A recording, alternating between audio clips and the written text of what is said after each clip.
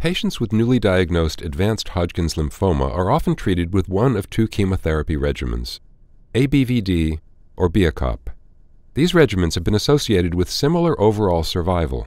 However, several recent studies have suggested that BEACOPP might have 5 to 10% increased survival at 5 years, at a cost of substantial increase in toxicity.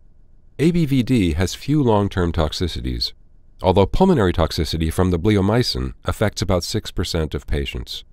BEACOPP, on the other hand, is a more intensive regimen with long term toxicity that affects nearly every patient, including infertility, fatigue, and future risk of cancer. The current investigators explored the potential for adapting therapy by de escalating treatment for patients with a good outlook and intensifying it for patients at highest risk for treatment failure. They designed a randomized controlled non inferiority trial.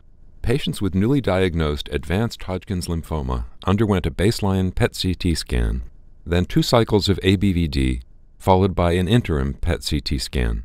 Patients with negative interim scans were randomized to continue ABVD or to omit bleomycin in cycles 3 through 6. Patients with positive interim scans received BEACOPP.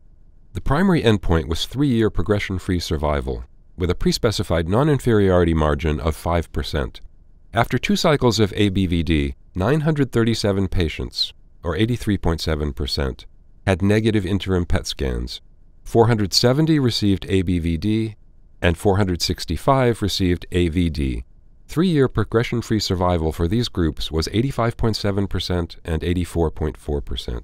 The remaining 172 patients, or 16.3%, who had positive PET scans, received BEACOPP. Their three year progression free survival was 67.5%.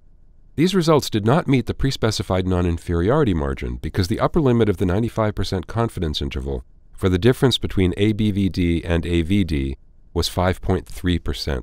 However, the omission of bleomycin after a negative interim PET CT scan led to reduced pulmonary toxicity without evidence of reduced efficacy. Full trial results are available at nejm.org.